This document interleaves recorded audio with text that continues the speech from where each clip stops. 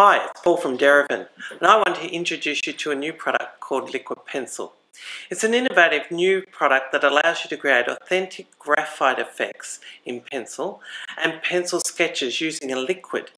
It's available in these six colours here. We've got grey 3, grey 9, sepia, yellow, red and blue. It's also available in two ranges. There's a permanent range and a rewettable range. So we're just going to go over very briefly what we can and can't do with that. And to start, I'd like to show you about a transfer technique. So we can use, this is just a panel of the rewettable and this time we're using graphite 9 and I'm going to show you how to make a transfer. So we've just got a plain piece of paper, we've got our graphite already laid down, we place that face down, we choose an image that we want to transfer and just grab a pen and trace that image. Now I'm just doing this loosely just to give you an idea of what we can do.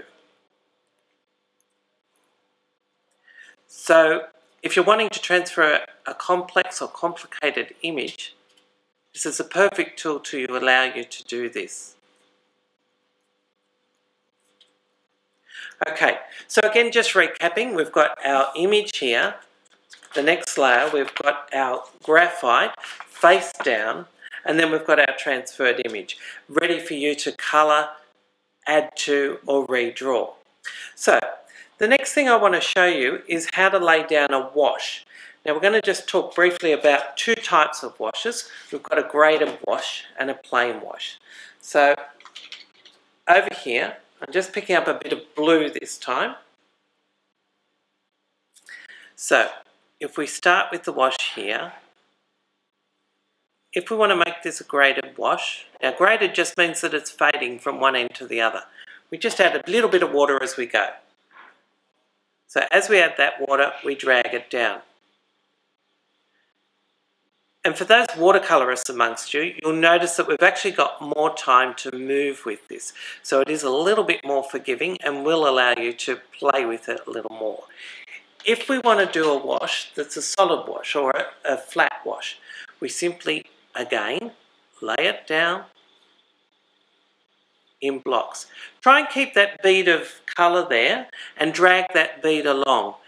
By doing that, you'll avoid the lines that can sometimes be created. And again, unlike conventional watercolour, we can push this around until we get a solid block. So that'll give you a more even wash if that's what you're after, or we can go back to the graded wash.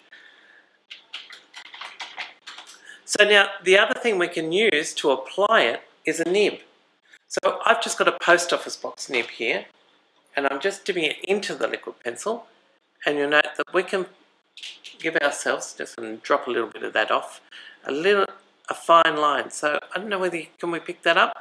So beautiful for doing some sketches and there's a sketch I've completed earlier which we'll have a look at later um, in this method. So what it does is give you a nib type line in graphite before unachievable. And also being the rewettable, we're able to rub it out or we're able to add to it. Also good for cross-hatching shading. And it tends, by the very nature of it, to be a little bit cleaner than traditional lead pencil, where if we rub over it, we tend to get a little bit grubby. We, this, by the very nature of the product, allows us to be a little bit more cleaner in the process, but still end up with a pure graphite drawing.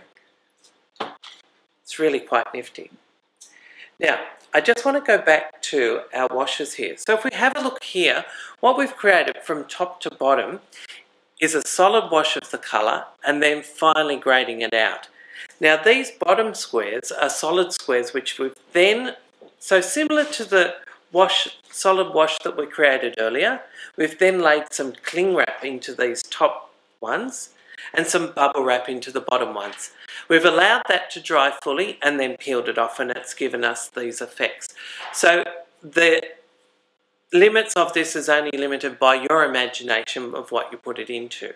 Now, the other nice thing about the rewettables is that if we have a burnishing tool, we're actually able to draw back into these. So if we draw back into these, they'll actually create a nice silvery line onto the image. So you can gently play with areas of it. The other neat thing you can do is if you have a torchon or a pencil, a paper stub, what you can do is wet that and you're able to push that around. So can you see how that's moving the pigment? So we're actually able to push the pigment through using that paper stump. Now the other thing we can do is get an eraser and just take out the line. So if we have a look at this solid area through here, what we can do is eliminate that.